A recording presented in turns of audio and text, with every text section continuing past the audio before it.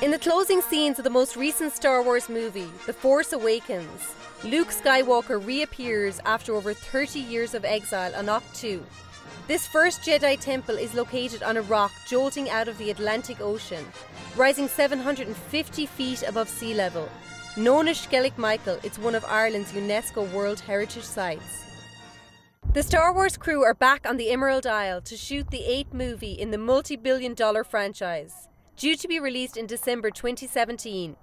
Much to the delight of locals in Ballyferriter, a small village in County Kerry, where a replica of the 6th century monastery on Skellig Michael has been recreated on the dramatic clifftop location Cian It took over two months to construct this set, where filming is now taking place.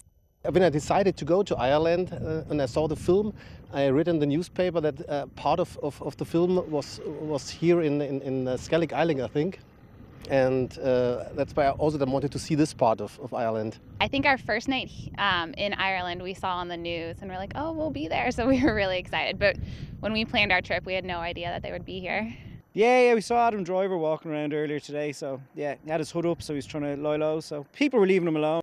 Released last December, The Force Awakens currently ranks as the third highest grossing film of all time, with more than $2 billion worth of cinema tickets sold worldwide. It's a major coup for Ireland's tourism industry to showcase the spectacular Wild Atlantic Way. Local businesses say they are starting to see the benefits.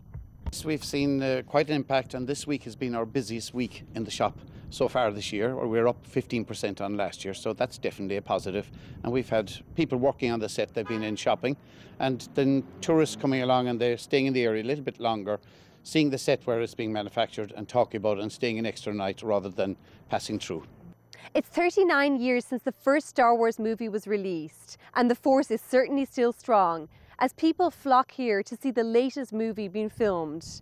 Now, locals in the area are hoping that this will boost tourism and that people will come here from places far, far away. Lourda Sexton, CCTV, County Kerry, Ireland.